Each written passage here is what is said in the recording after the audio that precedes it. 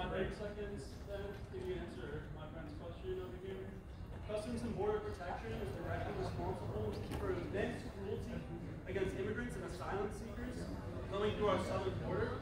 Salesforce props them up and profits off the suffering of immigrants. You talk about equality, right? You talk, you're the chief equality officer. We're asking a simple question. Where's the equality? Where's the equality in profiting off of a white supremacist and cleansing system? You say you stand, you say you stand with immigrants. Marc Stands for progressive causes and with immigrants. And when his employees, almost 700 of his employees, signed a petition saying cancel this contract, he refused.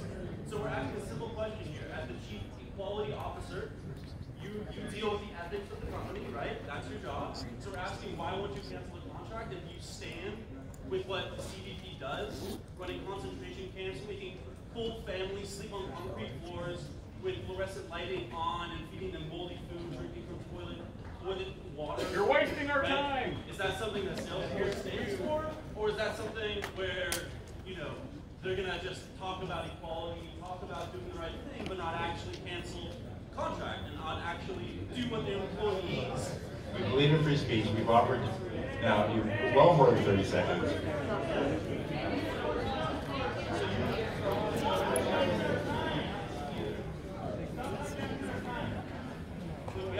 We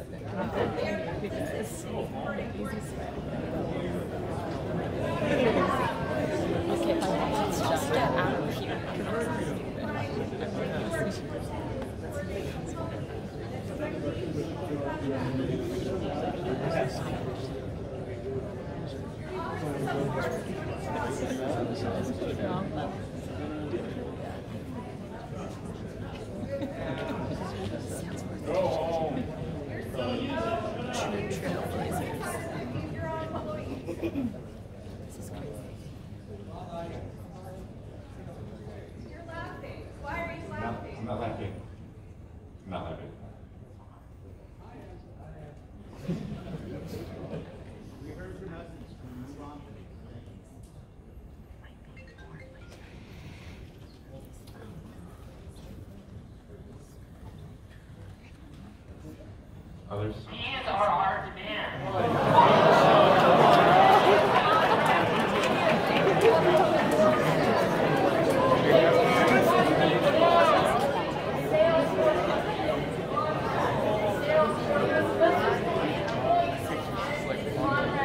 Customs and Border Protection immediately. There are concentration camps in this country, and you all are laughing. Concentration camps in this country, and you all are laughing. Do not do business with this company until they end their contract immediately. They must end it, they must meet with immigration activists, sit down with them. They will do it now. End their contract now. End their contract now.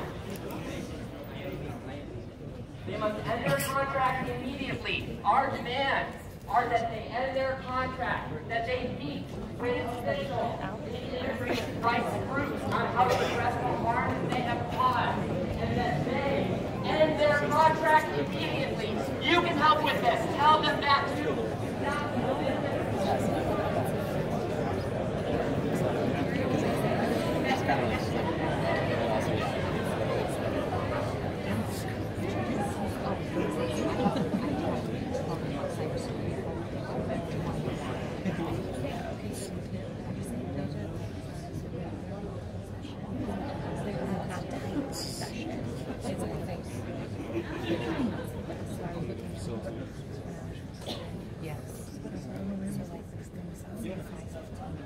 Others who are interested in exercising their free speech.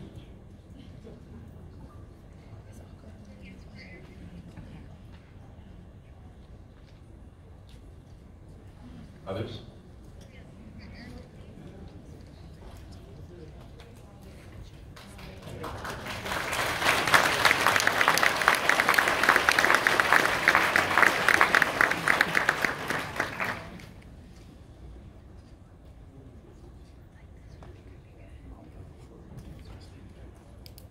We live in, in, in difficult times, and I said earlier, you know, this notion of being at this unprecedented time in human history, right? These are some of the, the aspects of it. And you see these forces trying to divide us and tear us apart and tear apart the fabric of society. And, you know, we believe that part of living to these values is this is a nation that's built on free speech.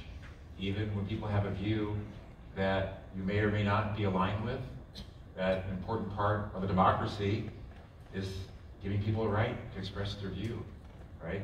That's part of what makes this nation and nations like it that make this nation special. And so, for us, I think it's important, even though it's disruptive, to when folks have a view like that, to just give them a moment. And this is the venue, unfortunately, I guess, or not, where they've chosen to express their views, to give them that right, which hopefully those of you here can see that we did and try to do it, you know, in a humane and thoughtful and considerate way. Right? As a nation,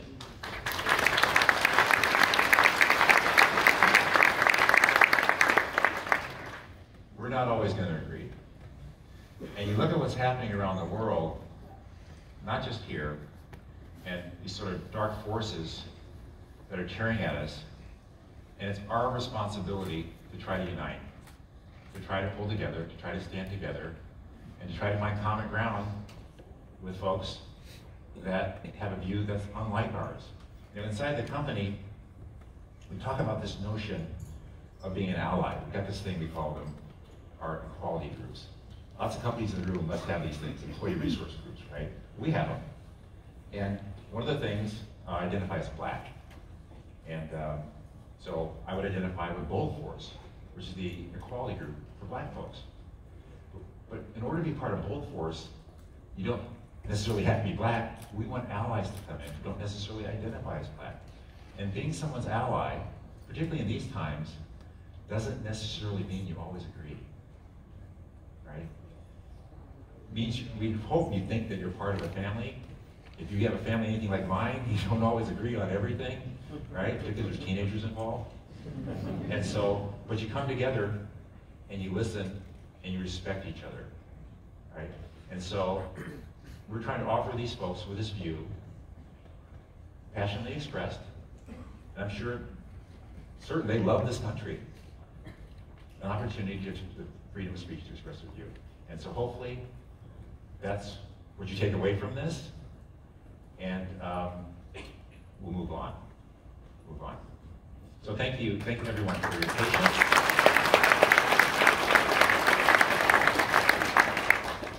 But, you know, that's an important moment. And again, we're at an important moment in ministry. And we try to live these values. Are we perfect?